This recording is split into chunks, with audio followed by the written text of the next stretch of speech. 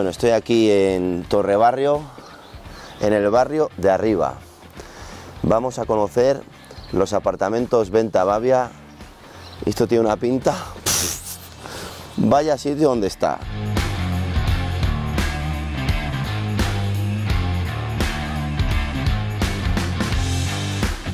Buenos días. Buenos días, viniste a verme a mi casa Sí. por fin. Y estoy acojonado. Pero ¿Qué ¿cómo tienes aquí esto montado?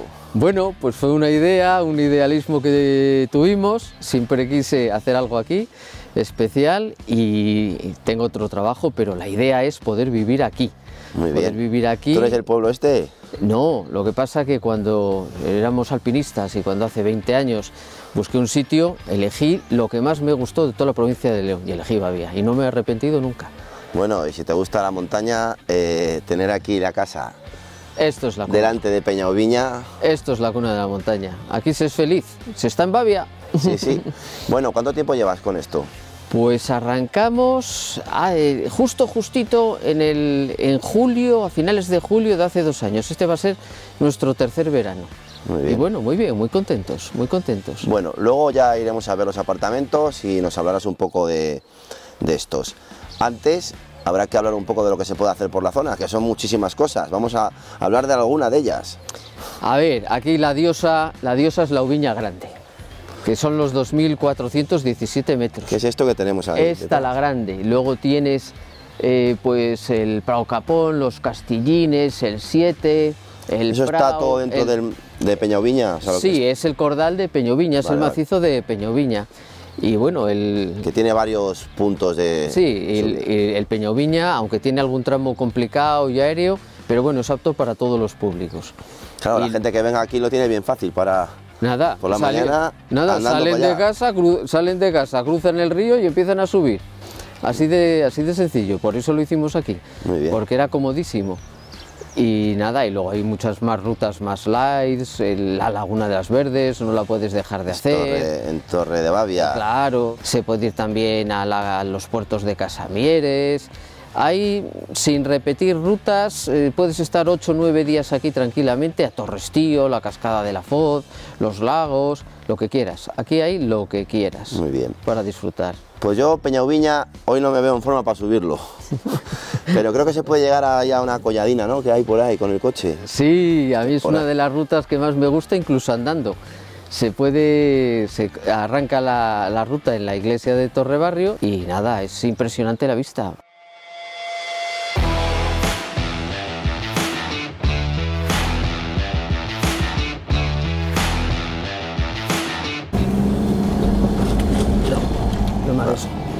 Me arriesgo porque me culea en un determinado momento y sacamos la rueda. No se puede. Vamos a tirar aquí un poco de pala.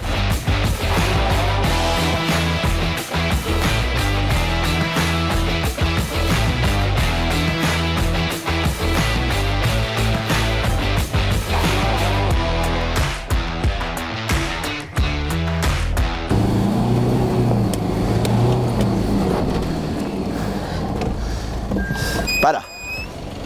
Sí, porque aquí voy al borde.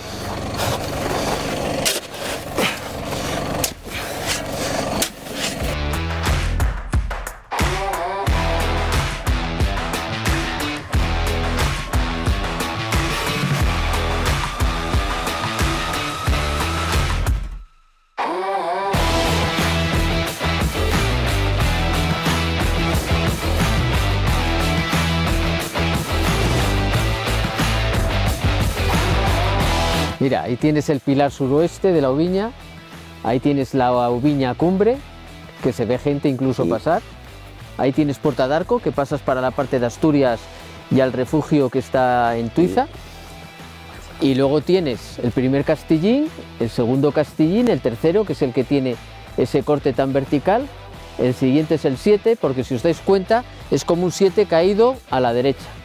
Luego está el crestón del Paso Malo y aquel es el Prado, por donde se pasa el Fontán de Asturias y aquel el Pico Colines. Luego por ahí. Pues mira, donde termina la carretera es el puerto de Ventana, el pico ese grandote que está ahí, que destaca más, ese es el Ferreirúa. Eso es alto también, ¿no? Sí, ese tiene 2.000 más o menos. Luego tienes el puerto La Mesa, donde vino Carlos V cuando desembarcó en Asturias. Luego tienes los puertos de Somiedo, los Cuetos Albos, Morro Negro y allá al fondo, al fondo, al fondo, el Montigüero, que es abajo es donde está la Laguna de las Verdes Ah. y a la derecha el Peñorri. Muy bonito también eso, ¿eh? Y si subiésemos un poco ya veríamos el cornón de Villablino. Y bueno, no hace falta subir Peñauviña para disfrutar de esta. Yo la estoy viendo aquí muy bonita. Vamos a ver los apartamentos. Vamos a ver los apartamentos. Venta Bavia. Eso es.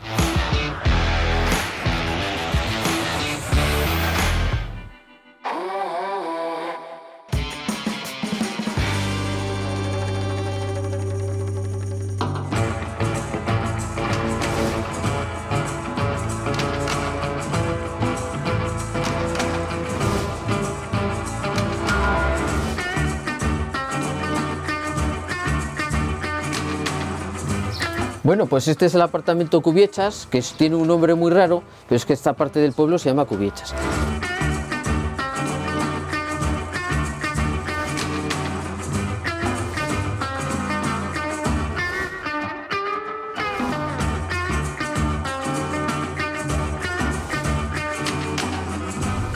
Entonces este quisimos darle un toque más tradicional, entonces hay muebles antiguos, de buena calidad, y luego hemos procurado, bueno, compaginar lo antiguo con lo moderno, y este tiene mucha aceptación, y se llama Cubiechas porque es esta parte del pueblo en concreto, con ese nombre tan raro, como se llama. Aquí siempre dicen, vas para Cubiechas, y lo hemos ido comprando en ferias de antigüedades, internet eh, y páginas especiales de decoración, y creo que ha quedado pues muy guapo. ¿Para cuántas personas es? Este es para máximo cuatro. Realmente para estar cómodo, cómodo, cómodo es la cama matrimonial de dos, pero luego por si vienen familias o viene más gente, pues eh, tenemos unos sofás muy cómodos, muy buenos, que hacen otros dos. Entonces este puede ser para cuatro personas.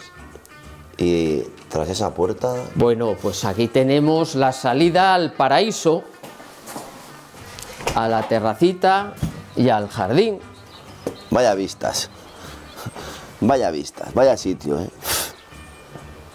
Y aquí tienen la mesa para desayunar fuera, aquí desayunan, aquí cenan, aquí están en la gloria.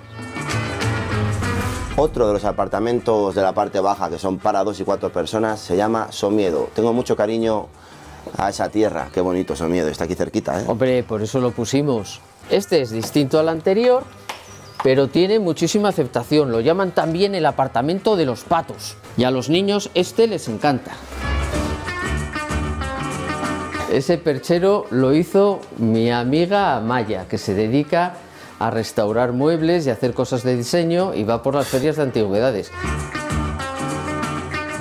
Y este tiene una cosa muy buena, que si te curiosín. para los niños, este es el apartamento de los niños y tiene una cosa muy buena que este este pequeño esta pequeña terraza da directamente debajo de la oviña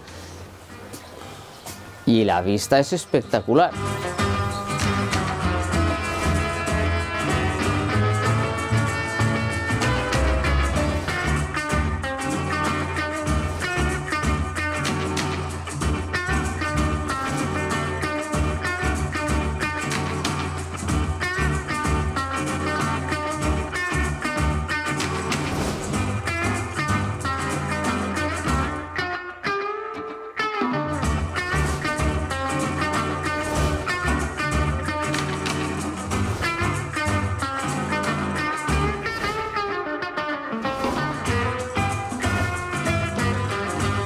Este es el apartamento ventana, que este es con una capacidad para seis personas como máximo. Y este eh, se llama por el puerto de ventana, que es también un rey de los puertos aquí, y este es tirolés. Toda la decoración es exactamente tirolés. Todo, raquetas, crampones, piolés, esquís antiguos. Este le encanta mucho a los montañeros, a los alpinistas. Y luego tiene una terraza que ya la viste antes, que es espectacular. También a la diosa Oviña. Bueno, este apartamento se llama Ventana como el famoso puerto que comunica con Asturias y León, que está aquí mismo, Claro. unos kilómetros escasos. Viene mucho ciclista por ahí, ¿no? Muchísimo ciclista, porque hay una zona que es específica para ciclistas, el puerto es muy bonito, contactas con Asturias, sale una pista a la derecha que la gente no la conoce. Yo sí la conozco, y es va para Quirós. Paquirós. Y cuando nieva son 12 kilómetros sin una cuesta arriba, esquí de travesía puro y duro, de las excursiones más bonitas que se pueden hacer y la gente no la conoce. Hay un alledo impresionante eh, bajando por ese camino. De lo mejor de España. Es impresionante, por eso quisimos ponerle el nombre de puerto de ventana. Bueno, se llama ventana, pero por el puerto. Esta es la parte de arriba, que es la más habitable. Aquí tenemos una habitacioncita bien guapa y bien decorada, normalmente es para niños o para, o para gente que venga, pero normalmente es gente pues más familiar, pero bueno, también quedan los montañeros. Este es el dormitorio principal, con muchos detallitos que hemos ido comprando por ferias y haciendo una decoración específica, todo muy montañero, todo muy alpino, para que la gente pueda cambiar de, pueda cambiar de, de ambiente Vaya con detallitos. Esta, qué bonita. Mira, esta, esto es una cosa que no se ve normalmente. Esto tengo que enseñároslo, porque la gente esto no lo ve nunca. Aquí está el escritorio. Esto no se ve. Esto es un mueble francés. ¿Esto de qué época será este mueble? Eh, comienzos de siglo, comienzos del siglo XX, no comienzos ya, del ya, siglo XXI. Hostia, pues sí que tiene tiempo. Es muy bonito. Lo que pasa que bueno, no lo tienes abierto para, para no quitar espacio, pero es muy bonito. Y la gente que viene a trabajar o a estudiar y se queda unos días, pues es lo que lo utiliza. Otro de los apartamentos que hay se llama Ubiñas, claro.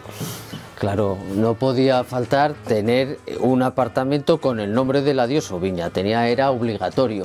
Y este es también de los más bonitos y totalmente distinto. Es todo tonos pasteles y es un espectáculo. Todos tienen chimenea, ¿verdad? Por lo que Todos tienen chimenea, que es lo que da mm, el ambiente más acogedor. Y este es también para seis personas máximo, entre cuatro y seis personas. También tiene dos plantas, también tiene su terraza. Todas las terrazas son distintas. La cocina en todo es totalmente equipada, con todos... Todo, todo, todo. Aquí no hay que traer nada. Allá solo está ga- vajillas, por lo que veo, Sí, ¿no? solo hay que traer ganas de pasarlo bien.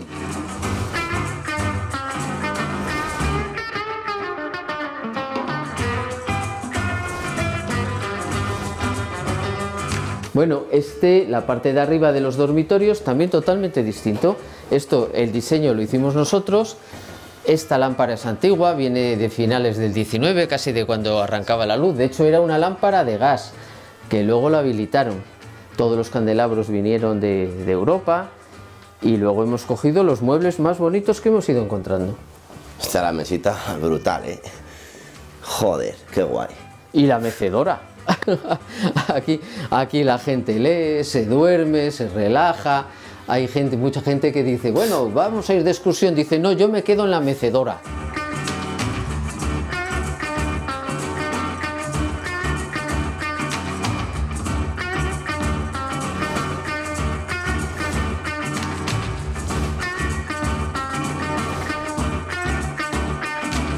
Bueno Ángel, te felicito por el trabajo que has hecho aquí en Venta Bavia, en estos apartamentos que están preciosos. Pues muchísimas gracias. Aquí quedamos. A ver si os volvemos a recibir y encantados de- Yo de, pronto, que vengáis a pronto visitarnos. voy a venir.